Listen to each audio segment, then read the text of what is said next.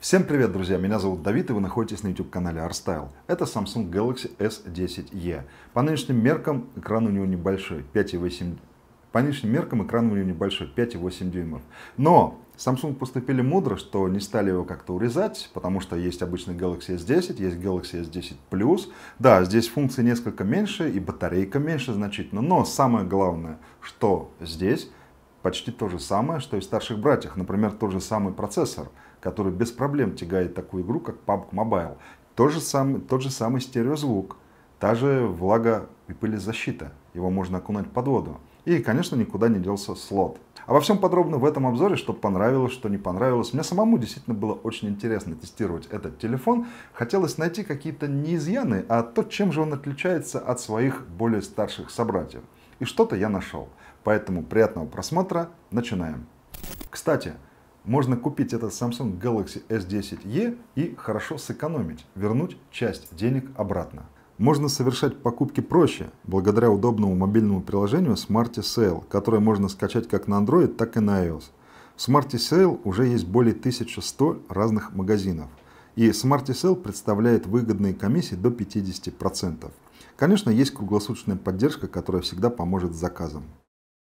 Комплекта у меня, к сожалению, нету. Телефон я получил на тестирование только вот с таким достаточно красивым и, на мой взгляд, не то что достаточно, а офигенным по качеству бампером. И если вы пользуетесь Galaxy S10 любым, то очень рекомендую посмотреть вот на такие вещи. Потому что телефон не то чтобы сильно скользкий, но он стеклянный, с металлической рамой. И, конечно, в некоторых ситуациях нужна больше крепко, чтобы его не уронить. Мне очень импонирует этот чехол. Я прям вот с удовольствием бы на любом телефоне таким пользовался. Но откладываем его в сторону, насмотрелись. Красивый, удачный в этом году. В отличие от более старших собратьев. Здесь у нас нет оптического зума, камер поменьше и фронтальная камера, отверстие под нее также есть. Конечно, это уже не первый раз говорю, лучше, чем огромный вырез вот этот посередине экрана. Но его особо не замечаешь, интерфейс писался под него. И когда запускаем какое-то приложение или игру, например, то по умолчанию здесь просто полосочка также аккуратно обрезана. То есть просто черная становится и не видишь его. Конечно, при желании можно растянуть экран на весь. Это делается, вот проще всего сделать в списке последних приложений. Но получается коряво. Тогда этот вырез, а, все-таки он большой, бросается в глаза. Про него и лучше не трогать, оставить все как есть. В интерфейсе не мешает. При играх, например, просто скрывается и все. Сам телефон стеклянный, Gorilla Glass 5, переднее стекло. Конечно же, рама у него металлическая, модуль камер выглядит теперь немножко по-другому, в отличие от прошлого года. И, на мой взгляд, смотрится все неплохо. Телефон выпускается в разных, достаточно красивых цветах. Я даже боюсь представить, какой цвет у меня, серебристо-голубой или синий. Сложно сказать, но выглядит красиво, на мой взгляд.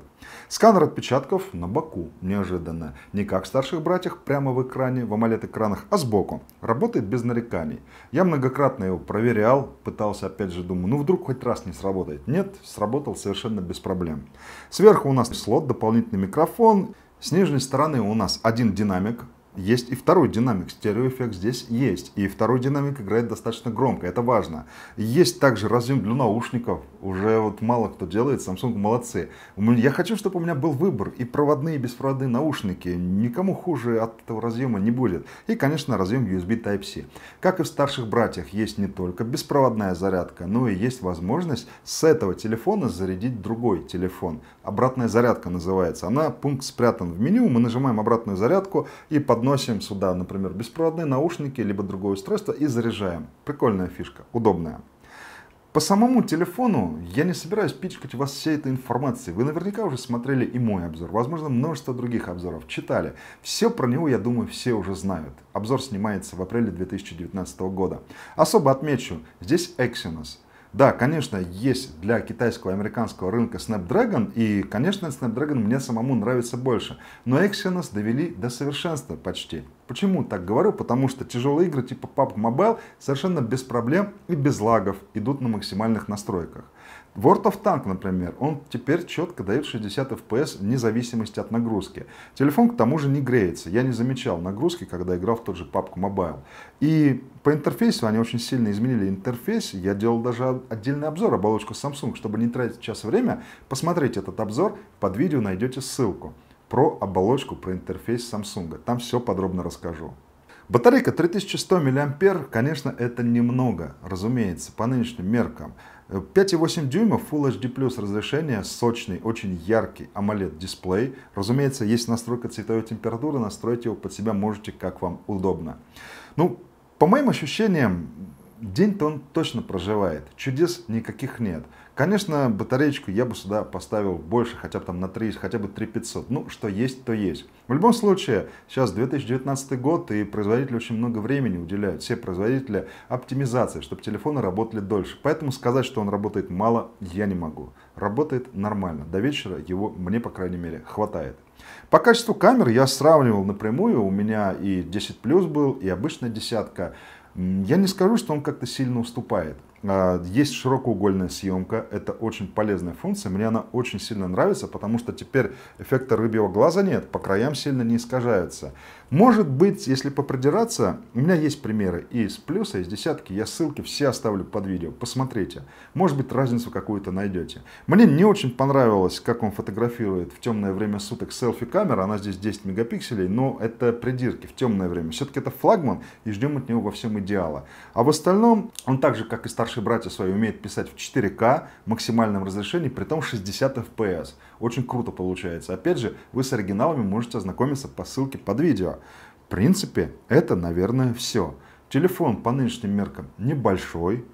Ну, кто-то улыбнется. Рамки вот у него, правда, большоваты. У старших братьев рамочки сверху, снизу и особенно сбоку меньше, чем здесь. Подводим итоги. В телефоне есть все. Стерео, разъем для наушников, модуль NFC, разумеется, там все новейшие версии, там Bluetooth 5, все, что должно быть по флагмане, здесь есть. Конечно, и беспроводная зарядка, и быстрая беспроводная зарядка, и быстрая проводная зарядка, и возможность поделиться энергией с другим устройством, и сочный, яркий Full HD+, а особо отмечу разрешение дисплея. Это хорошо, что не Quad HD, не высокая, а то, что нужно для 5,8 дюймов. Батарейку, возможно, чуть побольше бы хотелось. Ну, еще раз скажу, третий раз, мне хватает, не замечал какого-то разряда к обеду, по крайней мере за то время, что он у меня. В наушниках звучит очень даже неплохо, но это сейчас, по-моему, уже все телефоны звучат давно неплохо, особенно флагманы. Что еще? Итоги. Минусы? Даже не знаю. Рамки бы хотелось, наверное, поменьше и батарейку побольше. Все, вот что могу про эту модель сказать. В остальном, зачет. Как всегда желаю, будьте здоровы, будьте успешны, будьте позитивны. До новых выпусков. С уважением ко всем, Давид. Счастливо. Если понравилось то, что я делаю, ставьте лайк. Если не понравилось, дизлайк. Но лайк, конечно, лучше. Подписывайтесь на канал, всегда много интересного.